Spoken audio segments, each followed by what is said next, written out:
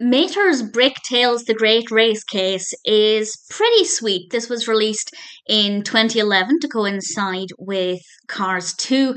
And being a fan of the Cars films and also loving Lego films and loving Mater as well, I, I knew I had to check this out. And it's, it's pretty sweet. The whole thing is about two minutes, maybe. It's not very long, so I don't want to go into a tremendous amount of detail.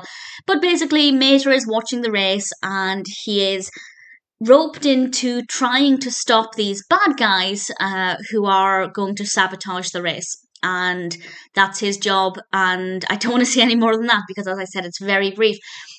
The narrative actually works very well within a short amount of time. It sounds like it's something that could be a lot more complicated, and certainly it could be, but I think within the time frame it was handled very well. Mater was as delightful uh, as always, of course, and he's voiced by Larry the Cable Guy. I, I do have a, a big soft spot for Mater. And as far as the Lego aspect goes and the stop motion, it's it's absolutely fine. Visually, it's quite appealing. There's a really good attention to detail.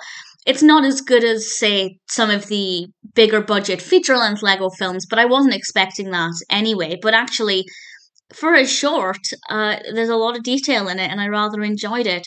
So if you like cars, or indeed Cars 2, then I'd say it's worth checking out. If you like Lego films, I think the Lego aspect of it might appeal to you. The stop motion was not too bad at all. We had quite a few other characters and cars, both in terms of uh, interacting with Mater and also other cars just watching the race and things. So a really nice attention to detail, a nice little story, and Mater was adorable too. There are, I think, two others in the in the Mater's Brick Tales series, and I will definitely watch those uh, at some point.